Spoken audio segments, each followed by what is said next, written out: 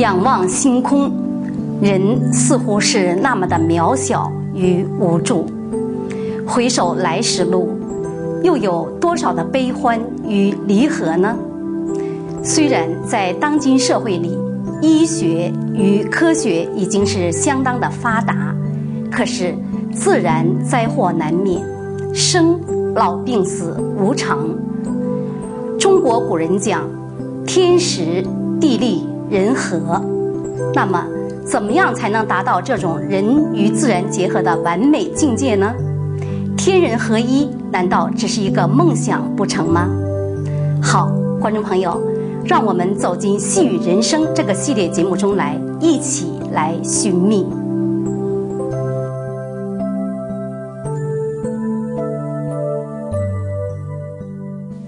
各位观众朋友，在今天的节目中呢。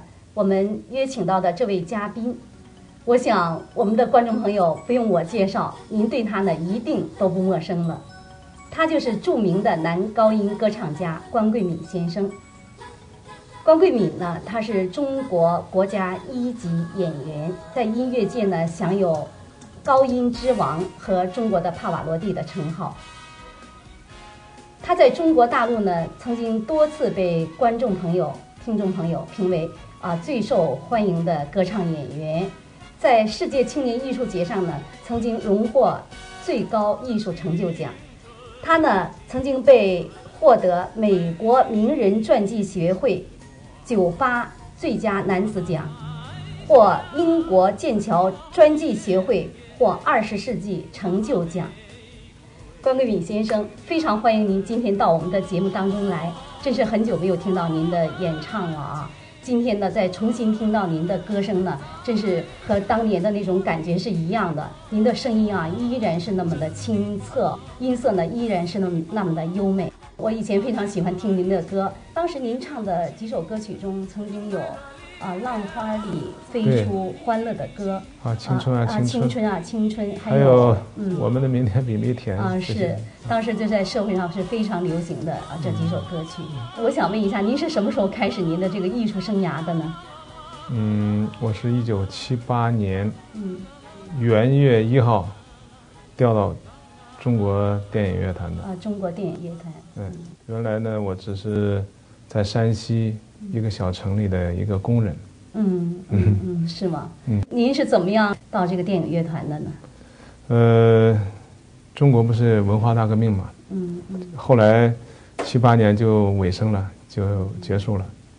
然后呢，那时候我在这个七二年的时候，嗯，我就开始就喜欢声乐嘛。你从小就喜欢声乐了？呃，对，我从小是喜欢的是音乐，但是我是在搞乐队。嗯，我曾经吹过小号，嗯嗯，呃呃，拉过小提琴，也拉过二胡，当然都是业余的了。嗯嗯。后来我又改学声乐。到一九七二年的时候，嗯嗯，呃，就是有人觉得我声音不错，嗯嗯，就推荐我到北京来考试。嗯，陆陆续续的呢，考了六年。你要知道，在中国，在那个年代。那个户口的调动是非常难的。对，嗯，而且就是说，您想要成为一名歌唱家，那也是相当的不容易的。而且在当时大陆的人啊，很多人都是非常对这个音乐这方面都是比较有竞争力的。对，嗯，呃，全国的人都要去北京考嘛。是是。所以我就这么陆陆续续考了六年，而不是六次。这六年是无数次。哦。北京的这些文艺团体呢，嗯嗯，基本上都考遍了。是吗？嗯，呃。怎么说呢？我当时就觉得我自己的声音呢，我通过录音哈，觉得没有什么问题。就是想，我也能跟这些歌唱家一样，比如说当时有著名的一些男高音歌唱家，我觉得我觉得跟他们，可以将来可能跟他们竞争，比试一下。比试一下。所以有这个决心呢，就老就是老去考嘛。嗯。呃，到一九七七年的时候。就是同时有几个团在调我，嗯就是包括，呃，铁路文工团呐，还有总政治部军乐团呐，嗯，还有当时的什么铁道兵啊这些，嗯，呃，还有其他的一些团，我呃都在想要我吧。嗯嗯。但是最后呢，我选择了电影乐团。嗯。电影乐团呢，它一个是办事就比较当时比较快。嗯。呃，手续比较快。嗯。再就是我当时我觉得我自己形象比较差。不会吧？皮肤也比较粗糙。嗯嗯。所以呢，我想给电影配音嘛，在在幕后。也不需我我看到您的台风真的是特别好，也不需要出图像，所以我当时我就喜欢去电影乐团。嗯，这样呢，我就一九七八年正式到了电影乐团。那您在这个考入电影乐团之前啊，您没有到过音乐学院去学习呃，是没有，但是我是在业余的哈，跟当地的歌舞团的演员也学过。嗯嗯。呃，我也是那时候就是年轻嘛，呃。长途跋涉到省城，找到山西大学的，呃，那个当时的是副教授了，就是一个叫邓英一的，呃，老师。我在跟他学学过声乐，嗯，这样呢，也算是学过一点吧。后来到了电影乐团以后，我才正式到中国音乐学院去进修。嗯嗯嗯。那么后来您唱歌，您有了今天的这个名气，您是一唱而红呢，还是经过了这么一个漫长的艰苦的过程呢？呃，因为我呢，从小在这个音乐方面积累的比较还是比较多，呃，搞乐队搞了那么长时间，从十二岁就开始起学乐器，呃，又在业余演出队的乐队呢待了很长时间，嗯，声乐也学了好几年。这样下来积累的比较多，所以后来到电影乐团以后呢，在一九七九年的时候，就录了几首歌嘛，大概大家也知道，当时就刚才讲的那几首歌都是七九年录的，非常的好听上口。呃，在二呃七八零年年初的时候，就是呃有这个由中央人民广播电台和歌曲编辑部啊发起的，就是全国听众喜爱的歌曲呃评选。就是纯属群众投票。嗯哼。当时一共十五首，那我在里头就是起码占了两首两首半吧。怎么讲？两首半呢？就是因为有一首是和殷秀梅，呃合合合作唱的《青春啊青春》。二重唱。呃，对，两个人唱的，那只能算半首吧。嗯呃，当时呢，一共十五首。呃，大家知道当时最红的女女歌唱家是李谷一。她有四首，嗯嗯，那我就差不多有三首，从来没有一个名气的一个小萝卜头一下就拿了四三首，人们就很惊讶嘛。哦，真是不容易，我觉得真是上天赋予您的这个才能啊，结果后来呢，我们电影乐团也说我是暴发户嘛，但是暴发户，嗯，也可以这么讲吧，就是一下就爆发出来了。对呀。但是在下边的积累是个艰苦的过程，对，长期积累的过程。对，在这个名气的面前，他的背后都有他的很多的这个辛苦和辛酸。嗯，关公敏先生啊，我昨天啊看到您这个参加这个法轮功之友的这个音乐会上的演唱啊，我当时一看啊，哎呀，关公敏先生，我真是能够从听他的歌声，真是那种心情非常非常的高兴。那么我想问一下，您在您是参加这个演唱会，那么您也是一个法轮功的支持者吗？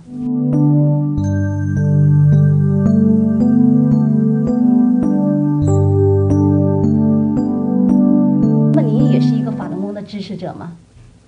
呃，我是一个法轮功的修炼者。哦，是吗？嗯，我是练法轮功已经到现在是六年多了。嗯，您是哪一年开始呃修炼法轮功的呢？我是九六年三月份。哦，那那个时候您还是很有名气的人，你怎么会突然间对这个修炼产生兴趣了呢？嗯，这也是一个过程。嗯，我呢，在艺术界都知道，是个嗯身体非常差的一个人。是在一九八三年过春节前夕，这演出有一天休息，我家离这个地安门很近，我就去这个逛逛街嘛，正好走到一家药店，我就进去了。本来是想买一点治嗓子的药，当时就是呃要演出了嘛，声带用的很多，要润喉的这些。康大海之类的。对。结果一进去以后，那里头有一个医生在里头给人诊脉嘛，我随便就往那一坐。他一诊脉呢，他说：“你身体不是很好。”他这么跟我讲，我当时也没在意。后来他一看我是关桂敏呐，嗯嗯，呃，我那时候有名气了，嗯嗯，他说：“你现在演出多吗？”我说：“很多。”我说：“春节的安排比较比较忙。”他说：“你不要再演出了。”他说：“你赶快到医院去查查你的肝。”嗯，所以我呢，就趁这个演出的休息的时候，我离积水潭医院很近，而且也是，呃，积水潭医院合同医院吧。当时我去了以后，一查，果然肝功能不正常。后来有人就介绍的我呢，到北京空军总医院去，一检查，医生说你住院吧。我说为什么？他说你肝确实是很不好。他们诊断为早期肝硬化。嗯，后来他们叫我住院呢，我也不理解，可是我还是听医生的话住院了。嗯嗯。嗯，医生说你的病没有什么好办法，就是只能说保守治疗。嗯，那那那个肝硬化它发展下去会是什么样？你如果保养的好，可以发展的比较缓慢。它就是要按照什么程序走下去呢？肝硬化、肝癌。肝腹水，有的医生甚至劝我说：“你一定要改行，你夜里又要熬夜，这个肝病是熬不得夜的。”说你嗯，还是改行为好。可是我呢，你想八三年，我刚有点名气，而且当时到处在请我演出，对呀，我心里总是觉得，哎呀，舍不得嘛。而且我奋斗了那么多年，对，你知道我很艰苦呀，考了六年到北京，总是觉得哎呀，改行太可惜了。对，所以我就决心要把这肝病治好，所以我就到处去找医生，到处去找这个名医。当时我有点名气嘛，人们也愿意给我介绍这些名医。我找过很多医生，可能好的方法都介绍给你了。对，嗯，作用不是很大。嗯，后来有人呢。呃，介绍我这个偏方，民间的偏方。呃，你说这种土办法，这偏方有有没有用处呢？好像是有一点作用，但是呢，解决不了问题。疲劳感是随时伴随着我，最严重的时候，我可以这么讲，我上街走二十分钟，满头大汗。你说这个肝病它是什么感觉呢？就是说你站着想。想休息，那你坐着，坐着你还感到疲劳，疲劳呢？你说我躺着，躺着还是疲劳，他就这个症状。那你对这种肝硬呃这种肝病，医院他们有更好更有效的治疗手段？当时是没有。嗯。呃，后来呢，还有人介绍我到长春，就是，呃，给这个溥仪皇帝治过病的一个老中医。我在长春，一九八四年的春节，我记得很清楚，是在长春度过的，在那里住了大概有两个月，医院还是多长时间？我大概就差不多吧，就每天吃他给我开的中药，嗯，作用似乎也不是很大。后来呢，就有人劝我去练气功，他说你这些都不行。你需要不去练练气功？嗯，当时我就去报了名，交了一点手续费。到八四年的时候啊，我一边演出，一边就是在练这个各种功啊、气功啊。你练了以后，似乎是好一点。哎，呃，原来走二十分钟，呃，就就满头大汗。现在可能可以呢，就说，呃，走这个，嗯，半个小时、一个小时，但是下去演出也可以了。但是呢。人家活蹦乱跳的去玩了，比如说演出之余啊，尤其是到呃到一些边远山区啊去慰问呢，他们都去名胜古迹啊去去游览呢，我不能去，我只有在家里躺着病床躺着躺在床上或者休息，整天就是为了这个身体啊，就是要随时要注意，没有办法，就这样过了。很多年，就是维持，但是不解决根本问题。这样一直到了一九九六年过春节，在一次就是一个呃演出的时候啊，他们都知道我在练气功嘛，这都是公开的，都知道我身体不好。嗯。有一个女演员，她说啊，你这个不行，你练了这么长时间，你差多了。嗯。她说我认识一个人，嗯，他比你练得好。哎，我说谁啊？我这个因为我我到处在寻找这个东西。嗯。他说：“你大概也认识，也是在演艺界待过。”嗯，我说：“你能不能把电话给给我？”嗯，他说：“可以啊。”他后来他就把电话给我了，我就给这个人打电话，我说：“你在练什么功？”他说：“我在练法轮功。”就这样，我去找他，我说：“我就想看看法轮功是什么。”就我认识的这个人，他后来又带我到另外一个练法轮功的学员家里，这个人给了我一本《转法轮》。所以我就回家就开始看。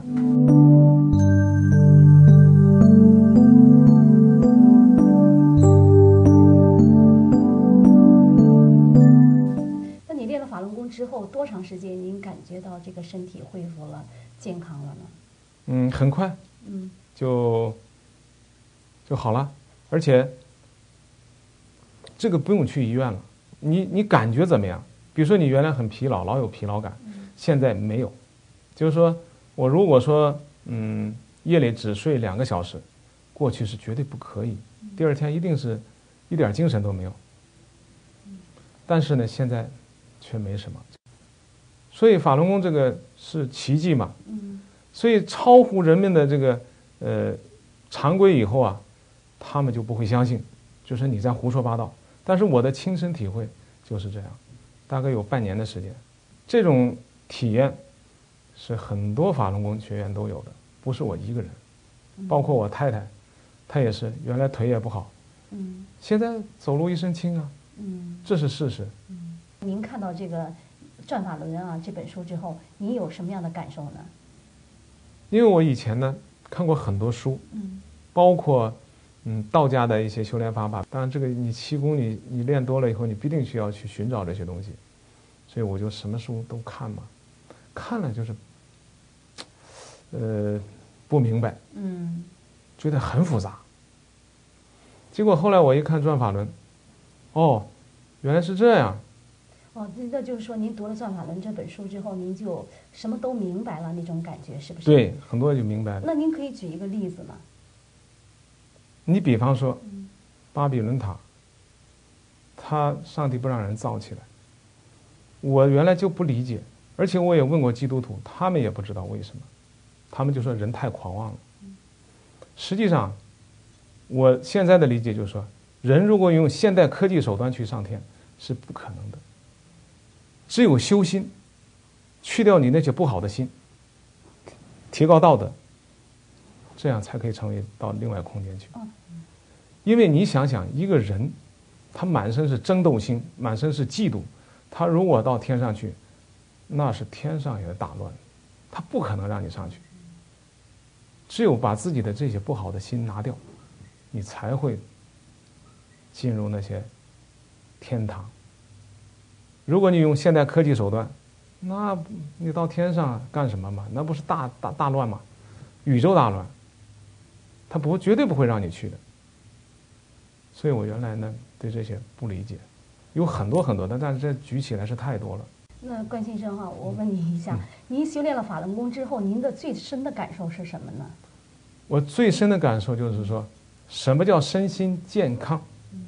过去只是一个美丽的词藻。现在我才知道，这个叫真正的身心健康，就是说，身体也好，心理健康，没有那些阴暗的东西。然后想到我要去做什么，呃，坑人，或者是多赚人家钱呢？多讨人家便宜呢，或者骂人呢？没有这些。你看法轮功真正的法轮功学员，抽烟、喝酒、吸毒、贪污腐化是绝对没有的，除非他是一个假修炼的人。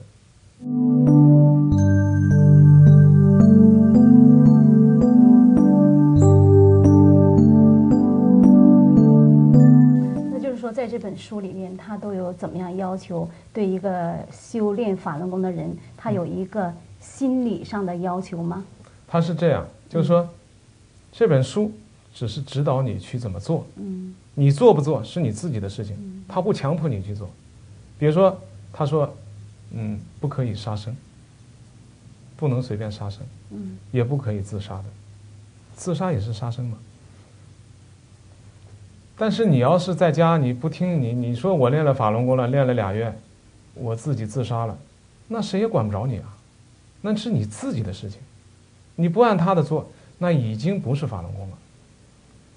只不过他就是跟你讲了这么一个理，你谁愿意按照这个理去做，你尽管去做好了，你如果不愿意按照这个理去做，那是你自己的自由啊。对，那假如说你没有按照这个法轮功这里边的这个道理去做，嗯，刚刚您谈到那个修炼这个心啊，嗯，要说没有按照这个去做，那身体还会不会得到健康呢？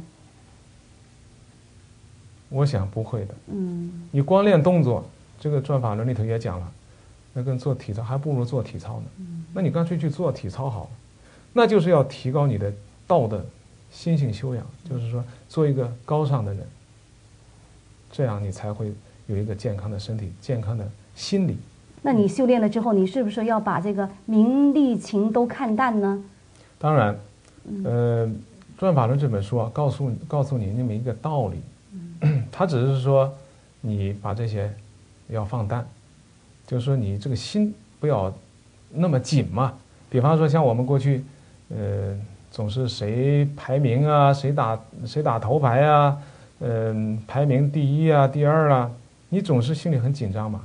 比方说，呃，每年的，比如说重要的，呃，露面的这些文艺晚会，有你还是没有你，或者你准备了一年春节文文艺晚会没让你上，有些演员自杀的心都有，何必呢？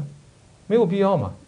就说你自杀，地球也是要转，太阳也是要从东边出来，你不自杀，它也是要从东边出来，是你自己找的吗。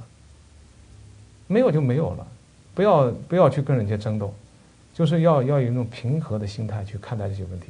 那些名有就有了，没有也就没有了，无所谓了。就是名利能怎么样？都是短暂的。就像我们这些名演员，你年轻的时候红的时候也就那么几年。你想想，喜新厌旧是人类的共性啊。观众是说是友情，实际上是很无情的。你想想。掌声和鲜花总是向着新人的嘛。嗯嗯。等你人老珠黄，一张老脸，他就不喜欢看了嘛。那时候对你非常冷落。你如果心态不平衡，总是怨天尤人，总是嗯愤愤不平，没有必要。然后就在这个嗯在一起啊，或者因为曲目啊，或者是你唱这个歌了，哎，你把我的歌唱了，甚至有的演员动手打起来了。这是这是在我们文艺界有啊，还有就是说，呃，春节文艺晚会或者或者某个重要文艺晚会没有让他上，在家气得大哭啊，像疯了一样，准备了很长时间，给砍掉了。其实这个没有必要去。那如果这这样的事情要碰到您，您现在会怎么样呢？我现在无所谓啊，你让我上我就上，你不让我上我很高兴嘛。这就是你修炼之后对这个名利的看法。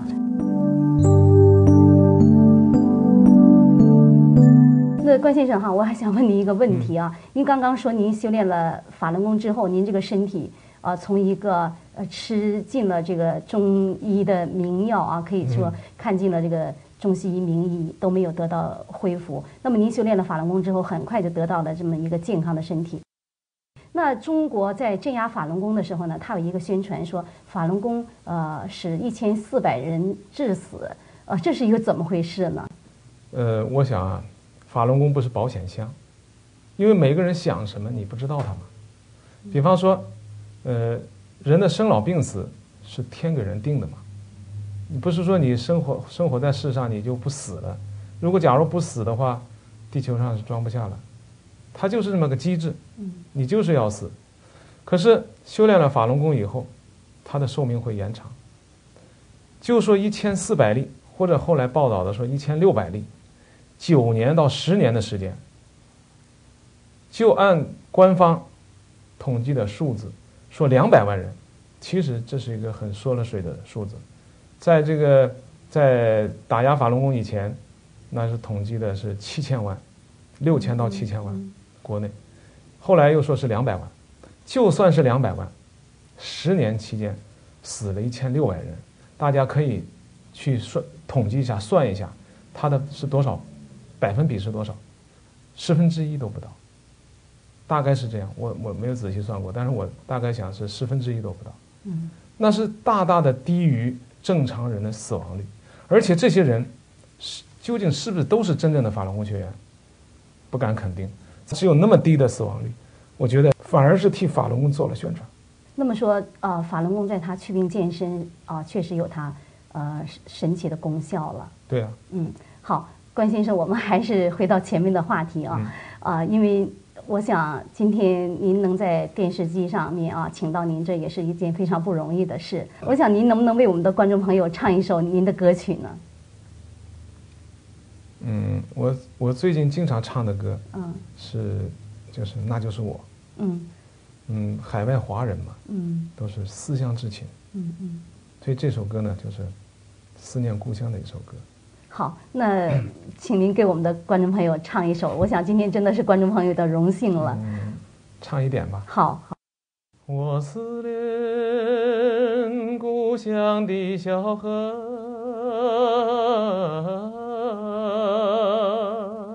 还有河边吱吱唱歌的水磨。哦，妈妈。如果有一朵浪花向你微笑，那就是我，那就是我，我思念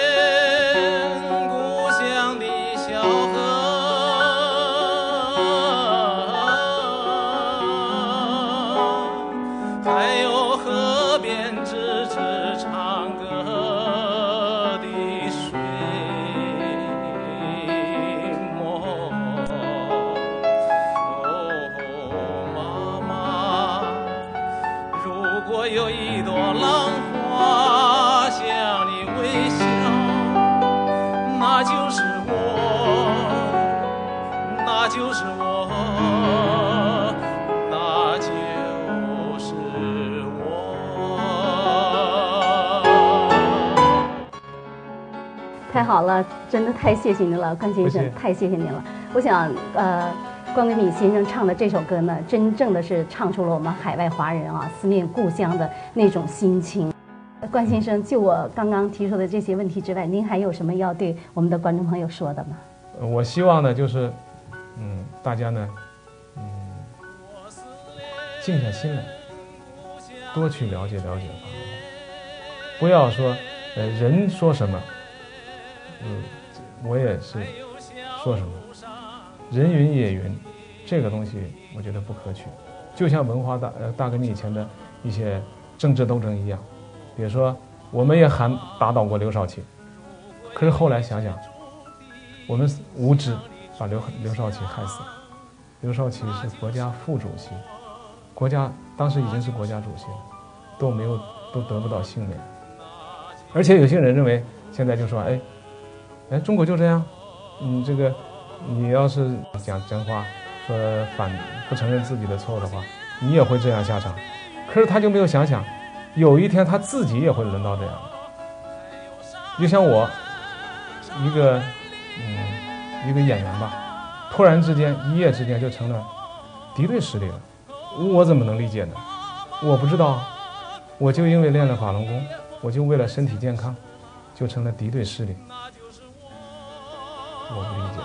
好，关先生，非常欢迎您到我们的节目当中来，真是太谢谢您了，谢谢。谢谢。啊，希望以后有机会呢，能在我们的电视节目中为我们的观众朋友讲一讲啊，这个声乐方面的知识以及怎么样发音的技巧，好吗？好啊。好，谢谢您，关先生。